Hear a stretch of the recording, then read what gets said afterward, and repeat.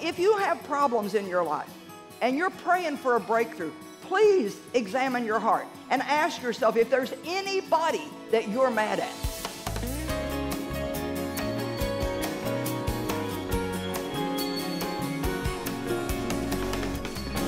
Mercy doesn't mean that you never confront. Jesus confronted. He confronted people, he confronted issues, but he still loved the people.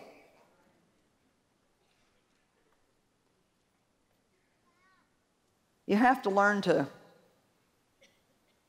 not expect everybody in your life to be perfect. Because you know what? None of us are. In John 2 24 and 25, there's a scripture that has meant a lot to me in my walk with God, and especially in trying to learn how to deal with people. You know, we have over 900 employees in our ministry around the world, and when you're dealing with 900 people, there's always somebody that's doing something that you wish they weren't doing. If you're dealing with three people, there's usually somebody doing something you wish that they weren't doing. Sometimes if you're only dealing with one person, there's somebody doing something. How many of you agree that getting along with people and staying in peace and staying in love and staying out of anger is something you just got to work at? We all agree about that. So, we all need this message. But Jesus, for his part, verse 24, did not trust himself to them, he's talking about his disciples, because he knew all men. Now, it doesn't say he didn't trust them. It says he didn't trust himself to them. And what I get out of that is he did not just throw his heart wide open to them and just say, You guys are my best buddies, and we're going to hang out together, and I can tell you anything and trust you, and you're never going to hurt me, and you're never going to disappoint me. You're my perfect friends that I've been looking for all my life. He didn't do that. Why? Because he knew all men.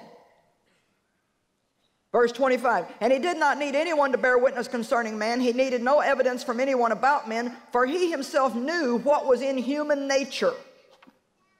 I love that. You know, I think if you can just start a new job and just have a little chat with yourself before you go and say, you know what, this job's not going to be perfect. My boss not going to be perfect. I'm not going to work with perfect people. And I'm not perfect. So I think I'll just go in every day and have a merciful attitude. See, you need to set your mind and keep it set. It's so helpful to us if we don't have wrong expectations, because when you have a wrong expectation, then you're just setting yourself up for all kinds of pain and agony. Well, you're the last person in the world that I would ever thought would have hurt me. well, see, you had a wrong expectation. Because if you hang out with anybody long enough, you're going to find something about them that you don't like. Anybody can stand anything for a short period of time. But when you've got that day after day after day after day after day after day after day, come on, I think that's why Peter said, Lord, how many times? and this is my own personal opinion, but I believe that Peter had a problem with John. Because I know Peter's personality, I'm not writing a new chapter in the Bible, but listen, I know Peter's personality, and I know when John said, I'm the disciple whom Jesus loves, I can tell you right now that that grated on Peter. And I can just see when John would just lean on Jesus at dinner and say, I'm the one he loves. I bet Peter just wanted to knock his lights out. Now, that's just my opinion, but. I mean, these disciples were together for three years, day and night. Of course, they had issues with one another. The, the more you're around somebody, the more you're going to see their flaws. That's why you have to start praying for and working with the Holy Spirit to develop an attitude of mercy toward people's failures. The disciples were a mess. And Jesus constantly forgave them. They argued over which of them was the greatest. they fell asleep when Jesus needed them to pray one hour. Peter denied Jesus three times. And yet, Jesus gave him mercy. On resurrection morning, he said, Go and tell my disciples and Peter. Peter's the only one he mentioned by name. Go and tell my disciples, oh yeah, and tell Peter too. I'm not mad at him, he's still in the group. Even though he denied me three times. You know why? You know why Jesus was not mad at those disciples? Because mercy understands the why behind the what. Legalism only looks at what people do, but God looks beyond what we do to why we do it, and that's why He can be so patient and long suffering with us and work with us toward our healing. God put up with a lot of stuff off of me for a long time because He knew how I'd been raised and He knew how I had been treated, and He knew that I had a good heart toward him, but I just had a problem with strongholds in my flesh because of being mistreated. Jesus understood that the disciples had fear. Peter had fear. He was afraid of man. They were afraid.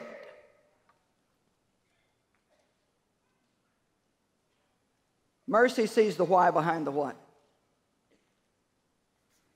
You know, Jesus is confrontational and yet he's merciful. Because one of the worst things that you can do is have a heart full of unforgiveness. It messes up your prayer life. It messes up your fellowship with God. It messes up your anointing. It opens the door for the devil in your life. It makes you physically sick.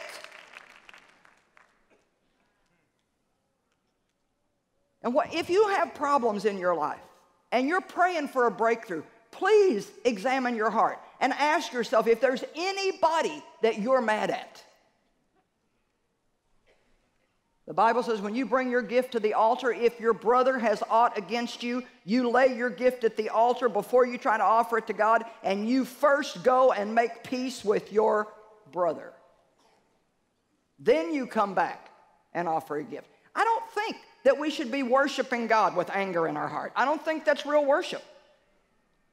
And I remember standing in the front row when Dave and I were in the church that we went to for so many years where our ministry started. And I wasn't really in much of any kind of ministry yet. I was just teaching some home Bible studies. And I mean, we'd argue going to church. You know, if the devil can get anything started in your life, it'll be when you're trying to get ready to go hear the word because he'd rather that you just be in turmoil inside so you can't get anything out of it and sit there and wear your church face and smile at everybody and hallelujah, praise the Lord, and you know, while inside your seat. And I can actually remember, and I had no idea then what I was doing, but I understand it now. I can remember standing next to Dave in church with my big praise the Lord smile on, looking at the words on the overhead, mouthing those words, and singing the songs with my hands in the air, thinking if he thinks I'm going to cook him anything to eat today, he has got another think coming. As far as I'm concerned, he can starve. He's just going to go home and watch another football game, and I'm going to do nothing but do all the work and clean the house,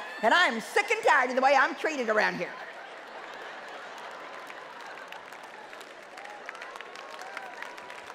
And it's the hidden man of the heart that God's concerned about, not a show that we put on, but the hidden man of the heart.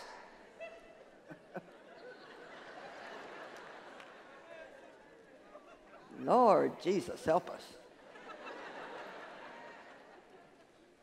Stop worrying about somebody taking advantage of you and just start obeying God. Let Him be your vindicator. Let Him deal with your enemies. God is our vindicator. But if we keep trying to take care of ourselves, then He can't take care of us. Come on, are you mad at your boss? Are you mad at that person at office that got the promotion that you felt like you deserved?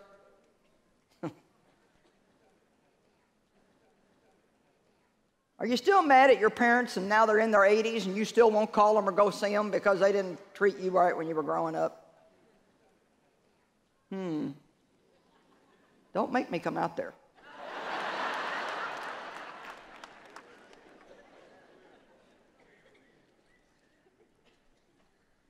Let's look at a few characteristics of a merciful attitude just to see if we have one or not. Now, there is a gift of mercy, and I don't have it.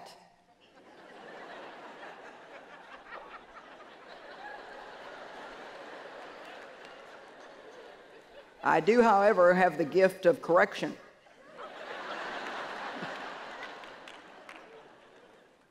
The gift of mercy can be a beautiful thing, but then you just, I mean, you just, you're just oozing with it. Well, you know, I had to learn it. I have to put it on.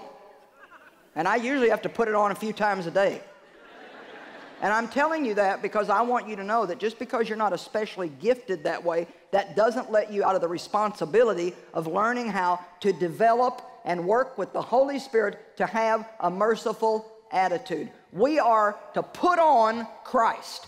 Put on the nature of Christ. And just because you were hurt in your childhood, and just because you have fear that people will mistreat you, that doesn't, cannot become an excuse to not develop those beautiful attitudes that Christ wants us to develop.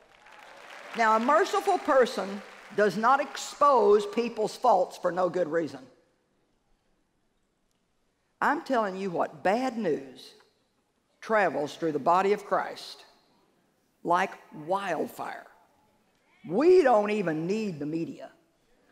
I mean, if some preacher in podunk nowhere does something, I mean, everybody's going to know it within a week. But good news doesn't spread that fast. And it's a wicked, evil thing that God despises. First of all, we shouldn't even believe a bad report except out of the mouth when we hear it from two or three reliable witnesses. And secondly, we don't know the whole story. And third, the Bible says love always believes the best of every person. I certainly know I've had some real lies told about me that just absolutely were not true. And I appreciated the friends and partners of our ministry who said, I just don't believe that. I just don't believe that. Why are we so quick to believe the bad thing and so anxious to tell it to someone else. It's a wicked thing that's in the flesh, and we need to not go with the flesh, we need to go with the Spirit and always do what God would have us do. Amen? So, 1 Peter 4 8 says, Love covers. I love that. Proverbs 10 12 says, Hatred stirs up contention, but love covers all transgressions. You know, Joseph did a beautiful thing. It shows his character. When he finally was going to deal with his brothers and reveal to them who he was, there were several other people in the room when they came to Joseph to get food. And I don't know if you've ever noticed this or not, but he made everybody else leave the room before he dealt with this thing with his brothers. You know why? He didn't want anybody else to think badly of them. That's a beautiful attitude. Okay, now I want us to go to Genesis chapter 9, beginning in verse 18. And I pray that as we share these next few verses, that this will put just a little bit of the fear of God in us. Because I do believe that we need to have more reverential fear and awe of God. I think that's one of the things that will move a person to do what's right even though they don't feel like it. And I can tell you that I think it's one of the things that's missing in many Christians' lives. We've gotten almost too familiar with God. You don't want to ever be afraid of God in a wrong way, but you need to know that God is God and He means what He says. And if He says He'll bless you, He'll bless you. But if He says you better not do something, then you better not do something. Because if you do, there's going to be a result. Everything that's written is here is written for our edification. This is not just a little book of nice stories that somebody decided to write down. These things are for our instruction and our edification. Let us learn something here. Genesis 9:18 And the sons of Noah who went forth from the ark were Shem, Ham, and Japheth. And Ham was the father of Canaan, born later. And these are the three sons of Noah. And from them the whole earth was overspread and stocked with inhabitants. And Noah began to cultivate the ground, and he planted a vineyard, and he drank the wine, and he got drunk. And he was uncovered and laying naked in his tent. Now, Noah's been on this boat a long time. I guess he felt it was time for a party. he grew some grapes, made some wine, drank more than he should have. He apparently got really drunk because he took his clothes off and was naked in his tent. Just to make sure you're with me. Now, watch this. And Ham, the father of Canaan, glanced at and saw the nakedness of his father and ran and told his two brothers, You won't believe what dad's doing. He is dog drunk and laying in there with not a stitch of clothes on.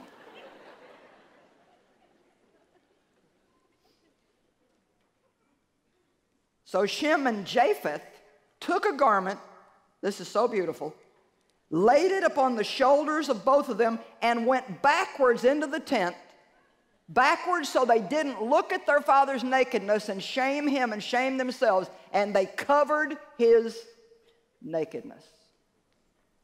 That's another way of saying they covered his fault.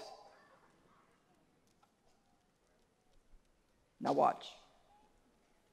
When Noah woke up from his wine, and he knew the thing which his youngest son had done, done he exclaimed, Cursed be Canaan he shall be the servant of servants to his brethren. But he also said, Blessed be the Lord, the God of Shem, and blessed by the Lord my God be Shem, and let Canaan be his servant. And may God enlarge Japheth, and let him dwell in the tents of Shem, and let Canaan be his servant. So, how much plainer can this get? Now, yes, I know it's Old Testament, but you know, the Old Testament doesn't go away in the New what happens in the New Testament, I, I, think people are mixed up about grace. Grace is not an excuse to live a sloppy, sinful life and get by with it.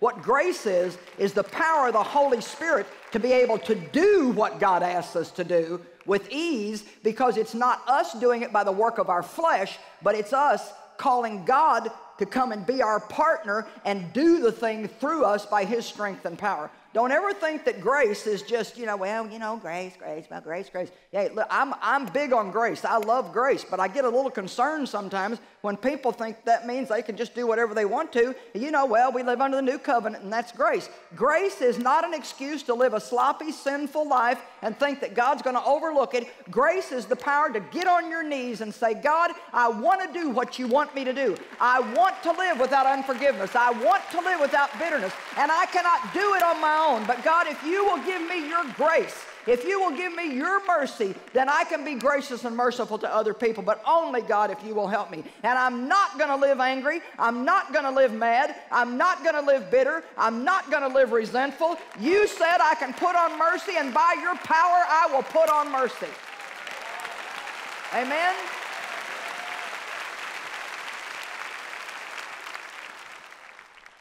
Another thing the Bible says in Matthew 18 is if you have something between you and your brother, if your brother's offended you, first, everybody say first.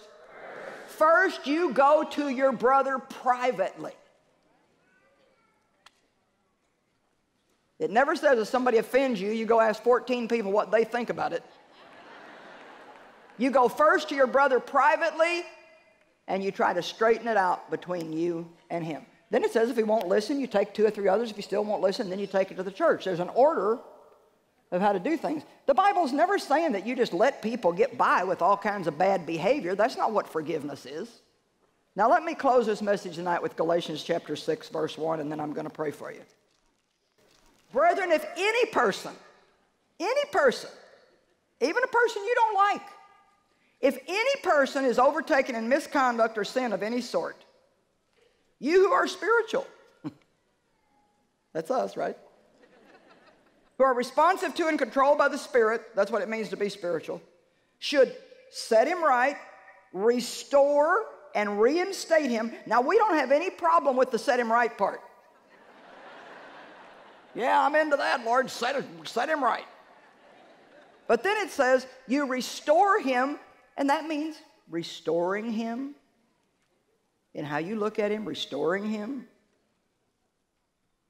reinstate him, and I love this, and do it without any sense of superiority and with all gentleness, keeping an attentive eye on yourself, lest you also should be tempted. So, one of the best things to do when somebody does something just really goofy that hurts you instead of getting all mad and having a fit and trying to make them pay for it and shutting them out of your life for several days, you can be the bigger person and say, you know what, I don't want us to have any problems. Listen, I've done a lot of goofy things myself in my life. I understand. You know, a lot of times, people hurt us and they don't even know they did it. They're just having a rough day, a bad day, and they don't even really understand what they're doing. My daughter was in a line one day at a drugstore waiting to get a prescription, and the clerk was just acting like a jerk. I mean, just grouchy, cranky, snippy, snotty. And so she's thinking on her way up there, when I get up there, if she talks to me like that, I am going to tell her, that I am going to get the manager, and I'm, and I'm, and I'm. And then God reminded her that she carries my books around in her car to give to people that are having problems. And God told her, get out of line, give up your place in line, go out to your car, get her a book, and handle the situation a different way. You don't know what's going on in her life. Maybe her husband just left her. Maybe she had a child that just died. You have no idea what's going on in her life that's making her act that way. See, mercy looks for the why behind the what. And so she she said, you know, when she finally got up there again, she said, you know, I can tell that you're having a rough day. And she said, I just want you to know that God loves you. And my mom wrote this book, and I just like to give it to you because I think maybe it will encourage you. You know what? I think there's a better way that we can handle our conflicts, don't you? Hmm? Don't you? Okay, this won't be fun, but I'm going to do it. How many of you, you already know where I'm going, don't you? You're thinking, oh no, lady, I don't want to stand up and have everybody in here know that I'm mad. Well, you know what? The Bible says, confess your faults to one another that you might be healed and restored to a spiritual tone of mind and heart. If you need to forgive somebody, if you're angry at somebody, if you've been angry a long time, if you just got angry today, if you're an angry person, if you're a quick tempered person, if you're a legalistic, hard hearted person, and you've heard this message tonight, I mean, really heard it, and you want to have a new beginning, would you stand up and let me pray for you, please? Thank you. Thank you, Jesus. Now, just so you know, this would be the same no matter where I was at. And there is something that I'd like you to do, not to be nosy, but I want you to just take a quick glance around and see how many people are standing. And I'll tell you why I want you to do that. Now, look at me, and I'm going to tell you something. This is why we don't have any power in the church.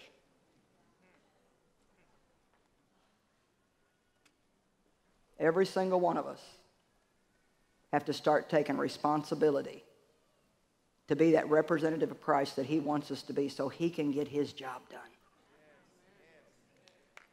Amen. Every single one of us. Father, I pray in Jesus' name that every person here would have a new beginning. Lord, I believe they've heard your word, but I know that they cannot go home and do this if you don't help them, and they need to know that. They cannot do it just because they decide to do it. They're going to have to study, they're going to have to pray, they're going to have to put on mercy and put on mercy and put on mercy until they're comfortable with it.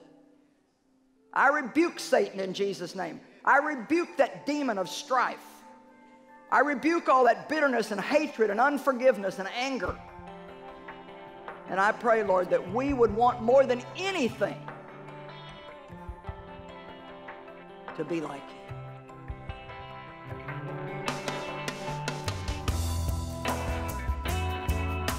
Well, you know, the more time we spend around people, the more opportunity there is for them to hurt us or for their flaws to become apparent. We need to learn how to develop an attitude of mercy toward people's failures, keeping in mind that we will need that same mercy at some other time in our own life. We really want to have great relationships, and the way to do that is to be quick to forgive.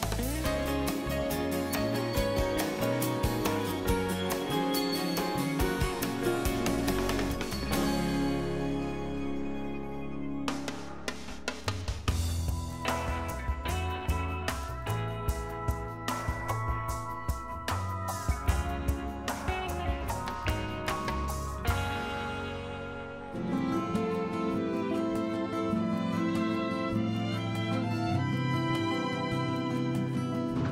just been wondering lately, what is it that makes a person want to leave the comfort and monotony of home to come someplace crazy like this and do a medical clinic? Well, let's ask the volunteer doctors and nurses who do it all the time. They look sad and get downhearted, and then they look at you, get make eye contact, and you smile, and they read that smile, and then they start smiling, and then the kids all run to you and they smile. When you really experience that, you just you would you're hooked. So what do you think? It can't hurt to at least check it out, right? All you need to do is go to our website, joycemeyer.org.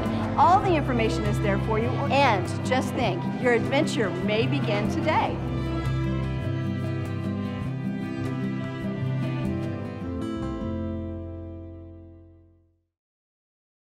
Wilt u meehelpen de wereld te veranderen? Word dan onze partner en doneer regelmatig. Wij sturen u graag kostenloos onze brochure toe. Vraag deze aan door te bellen naar 026 20 22 100 of ga naar joyce-meyer.nl/partner.